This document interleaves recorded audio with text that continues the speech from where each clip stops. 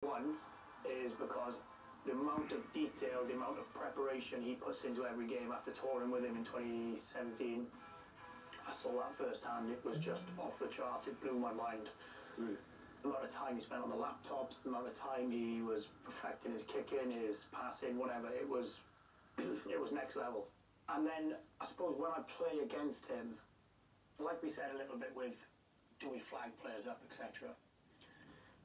The whole time we play Ireland, the only thing we generally spoke about was how do we get at Sexton? Really? How do we stop Sexton running the game? How do we stop Sexton dictating play? The variety of his game and was just brilliant in terms of short pass, long pass, attacking, kicking game, um, tough, you know, amount of injuries he picked up and things. And my first Six Nations start was against Ireland in 2013, and he gave me his um, his match shirt. Didn't ask for mine in return, just said keep yours. Um, No, no way. uh, so that was a really nice touch. Well, nice to do. Yeah, really nice touch, and um, just an, an all-round brilliant guy, but so so tough on the field, argumentative, fractious, um, niggly, and that's kind of I just saw so much. I just yeah, I was Yeah, gonna say that's what I saw. I saw so much of myself in him. It's because you want to win, though, so you do, do Yeah. anything to try and win.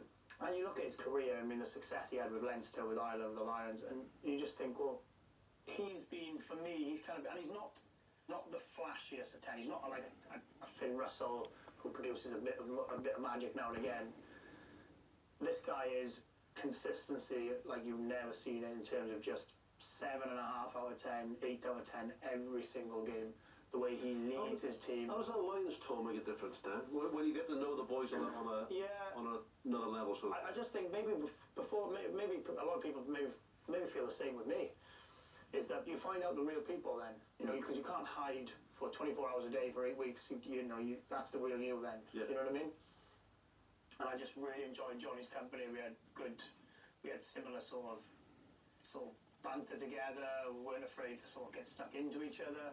I just thought you didn't get on. No, it, it, it's it is funny because like if you if you're if you're even listening in or whatever, we're at each other and Yeah. things like that.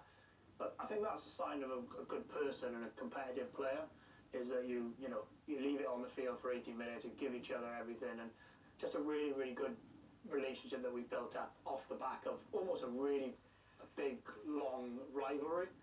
And for me, that's what that's why he's my number one because I played against Carter maybe three or four times. I played against Dupont six or seven times, to us over four or five times. But Johnny, uh, honestly, it must be up, up up by about 20, 20 times, 22, 23 times.